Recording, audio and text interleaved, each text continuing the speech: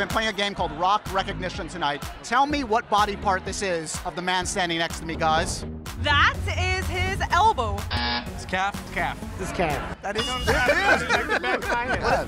Well, that's my penis. I know this. Um, this is his bicep. That's my bicep. that is his bicep. 24 inch python. I know that bulge.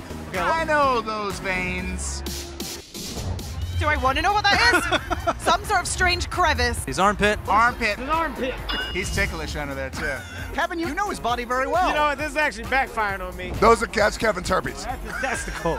That looks like an old fossil, like a carving in a rock. His head. That's the nutsack. I know it anywhere. Is that a testicle? What is that? Is that what? That's his lip? What is that? What is, oh, it's your chin. Jesus. Balls chin. Did you ever see Family Guy? Remember that chin? It looks just like a nut sack. So I was in a way kind of the same thing. Way to make me look like a stalker to DJ. That's his calf. I know that. that oh, bicep. I got it. Mm, that's a cat. That's a lip. Good game to win.